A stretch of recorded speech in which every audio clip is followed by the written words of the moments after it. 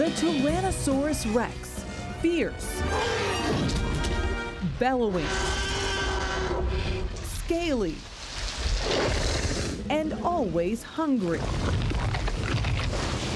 That's how we often view the king of the Cretaceous period.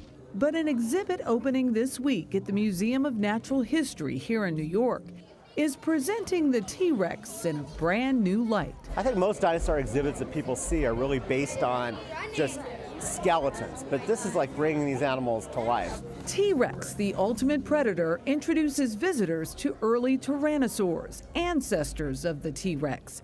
The museum's T Rex skeleton, with its bones reconfigured into a crouch, is now joined by a life size model of the apex predator, topped with tufts of bristly hair. Visitors will also see what a baby T Rex might have looked like, feathers and all. While the subject is prehistoric,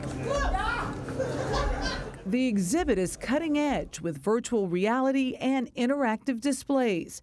It's all meant to put the fearsome creature's power into context. These bite so hard that if you do experiments with it, if you take like a 2x4 and you subject it to that much pressure, it doesn't go, the tooth doesn't go through the 2x4. The 2x4 explodes into like toothpicks. The exhibit took two years to develop, and much of what's on display is from research that is 10 to 20 years old, a blink of an eye compared to the 65 million years that have passed since T Rex ruled the earth. Oh, those are some teeth. Yeah. Isn't it funny though with the baby? We all were like, oh, I even though don't bite your hand off. Yeah, baby T Rex. They start off so small and they grow so big. I love that museum.